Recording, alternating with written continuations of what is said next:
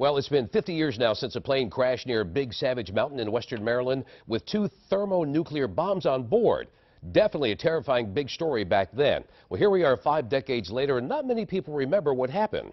11 News reporter Rob Roblin spoke to an expert who does remember the details. On Monday, it will be 50 years since a B-52 bomber loaded with atomic bombs crashed in western Maryland. You're looking at all that's left of Buzz 1-4, a B-52 bomber that crashed in a snowstorm in Garrett County, Maryland in 1964. The vertical stabilizer sheared off. The aircraft veered over, rolled onto its back, and went into a dive, and they couldn't bring it back. The pilot ordered to bail out as he radioed a mayday, and four of the five crewmen were able to eject.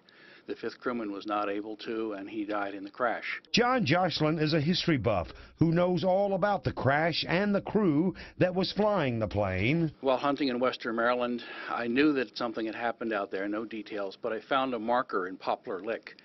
And the marker was to Major Robert Lee Payne. He was the navigator, and the marker is where his body was found. And this started me on a crusade to look into it and see what really happened, and one thing led to another.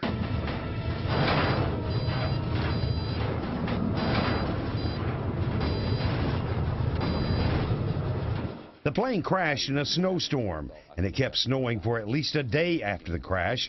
Of the four people who were able to get out of the plane, only two survived. Of the five crewmen, three ultimately perished. One in the crash, two from exposure in the elements. This was the middle of the winter, 11 degree temperatures, blowing snow knee deep. The plane was part of the Strategic Air Command and was carrying two atomic bombs.